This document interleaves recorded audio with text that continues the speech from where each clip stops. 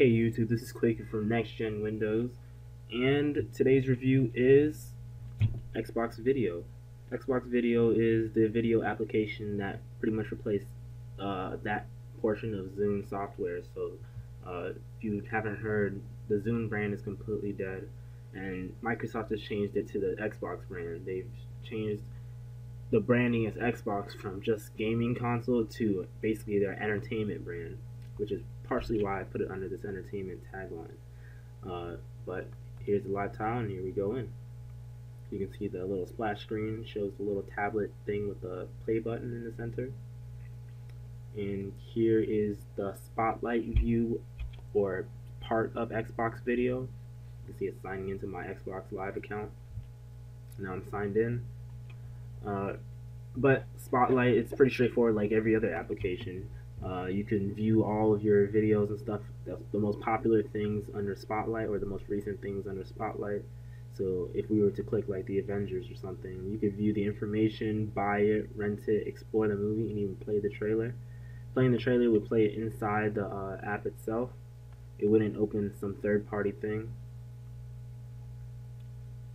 So if we right-click and we want to pause it, copyright reasons, we can do that. And you can see it shows in this thing, it replaces this live tile. Instead of showing a picture like it shows here for this other thing, uh, it shows that I actually started playing it. And if you click it, it starts playing it again. Now it actually shows the price, and that's a really good thing. It shows the price is 99 cents to rent it.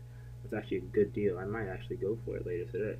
But on a side note, uh, six Xbox, I mean six HBO shows for 2.99 it tells you little advertisements of what each thing you know is doing. So HBO TV sampler page, which means HBO is eventually going to add probably one of their featured shows content in this square and tile instead of uh, this little placement, this little placeholder.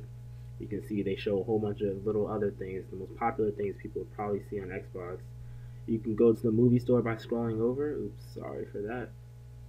Let me use this at the bottom you can use a movie store by scrolling over. And one thing you got to have a quick note for is you can't click on any heading in any application unless there's an arrow next to it. Otherwise, it just won't work. So as you can see, this arrow made it so that this thing turns uh, gray once I hover over it. Or uh, you can even do a whole bunch of things. You can, when you click this, it takes you into it, and you can see new releases, featured, top selling, genres, and studios. Now, for genres, for instance, we were to choose this arrow, this drop down arrow right here, you could view all the genres that they have available. They have a whole lot of genres available. You can see top rented by you can arrange it by top rented, top selling, uh, and release date, and studios. You can obviously arrange it by which studio made it. There's a whole lot of studios and also when we see this new releases you can't narrow it down because it is just the newest things that are released. And I'm pretty sure that they're ordering it by when each thing was released on the Xbox uh, video store. So movie store at least. Uh, when you see this part right here I'm pretty sure this came out today or the most recent thing that came out was this. And then so on and so forth you know. Uh, you keep seeing like the Raven came out a while ago. I heard that Rock of Ages came out a while ago, so that's why it's so far back, and so on. So if we go back, we'll just use this bottom thing. You can also swipe, obviously. Television Store does the same thing. When you click into it, it shows the most featured, the newest releases. So, The Walking Dead and a whole bunch of other things were the most recent uh, releases. You can go to featured and see the featured featured television stuff, so like uh, Breaking Bad, Smallville, Dragon Ball Z, surprisingly is still there. Uh, late night shows, things that come on late at night, uh, top selling, and genres. Again, you can click this arrow to see a drop down menu, and you click this to arrange drop down menu. Networks is TV networks that that shows show up on. And if we go to the other side, of the spotlight, you can view my videos. So the, the my videos is actually all the videos that you viewed on your Xbox or computer, videos that you've created, or videos that you've downloaded. So it's all of that stuff right there. Uh, I'm pretty, I'm viewing, what I'm noticing right here is that these are all the videos that I've downloaded. You saw I downloaded this in a, as a sample in one of my other uh, reviews.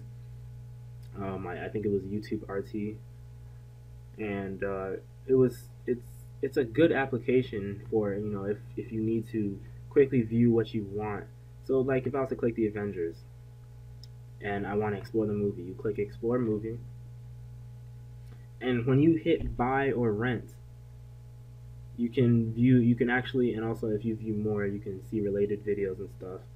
But if you when you click buy or rent well, we'll click rent tells you to type in your password when you type in your password uh, once you purchase it and everything it allows you to have a selection choice it allows you to either view the movie on your PC or you can view it on your Xbox and of course you can it doesn't push to the Windows phone but you can also uh, push where uh, watch it on your Windows phone since it's if it's all the same account. But those are some cool features of Xbox Music. And the last thing I want to show you guys is that when you right click or you swipe in from the bottom, you get extra stuff. So you can see open file, previous play, you know, your uh, navigate your media settings. So that's it for this trailer that was playing. And then you can hit playback options. So you see play on Xbox 360. You can hit uh, repeat and closed captioning and this little thing that's not available. I don't know whether this isn't available for this video or it's just a feature that hasn't been added yet. But aside from that, that has been Xbox Video for Windows 8 and it's a really good application in my opinion. I would use it since it gets you straight to the point in and out just like Microsoft wants you to do. Uh, like how their ad slogan was like to keep you away from your phone, something something on that line, so that you're not always into your phone. Uh, when you're not always into your computers, like you don't want to stay on your computer too long, you just want to get in and get out. Uh, this is a good thing to do for videos. So you just want to check out a movie, get in, check out a movie, and get out and start watching it. That's a good thing that you can have to. Uh, another a good application that you can use to watch your movies, your TV shows, and other videos. This has been Kweku from Next Gen Windows, and if you like this video, uh, give it a like or thumbs up actually, and leave a comment below if you have anything extra to add or you'd like me to review anything else, any suggestions. And I'll catch you guys later. Peace.